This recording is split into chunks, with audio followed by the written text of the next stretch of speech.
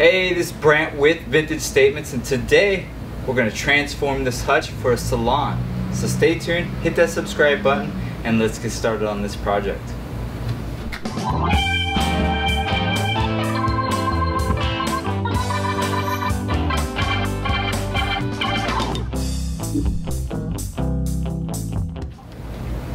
Alright, what we're going to do today is we're going to strip this down. We're going to remove all the hardware, all the glass, the wiring system's going to come out. We're going to knock out this piece, hopefully. The back's going to go out. We're going to actually have that uh, uh, wallpapered so it'll have a textured background. We need to get rid of this is because for the salon, they need as much space here as they can. Uh, remove all the hardware. They're going to keep the hardware, but we're to remove it. We're going to sand this piece down, paint it, wax it, and see how it looks at the end. And well, right now, doesn't look like much, but after we get it painted, it's gonna be quite the transformation. So first thing, let's start tearing it apart, getting all the handles off, get the glass out, get that back out, and see what it looks like from there.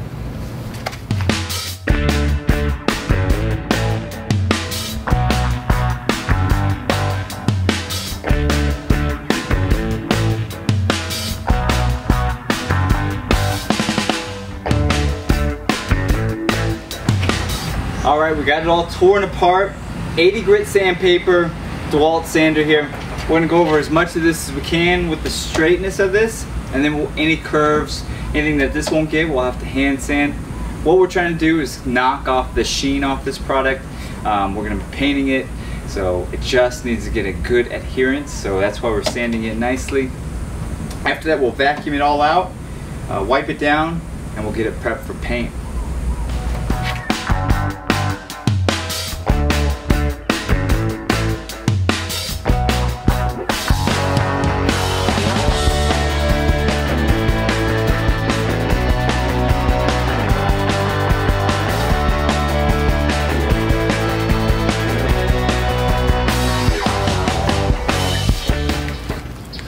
All right, everything is sanded down, wiped off, and now we can start painting. And today we're gonna use our Behr Premium Plus. It's blackout is the color, eggshell is the finish. We've got our Wooster brush here.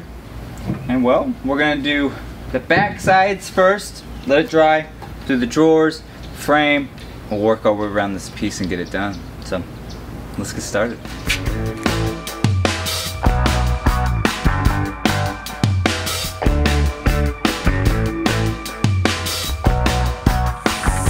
All right, we have pieces painted, two coats. We're now we're gonna put on our citrus shield. It's a paste wax. Got an old sock.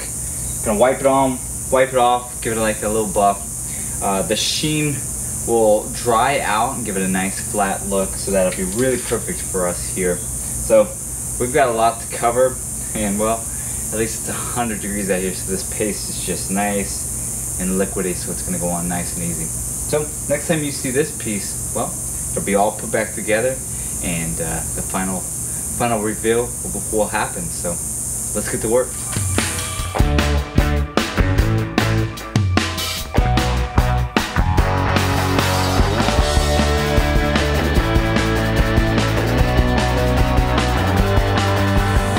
All right, here it is completed. It's a blackout black by Behr Prime, Premium Prime and Paint. Uh, we stripped off the front port here, we took out the light in the inside.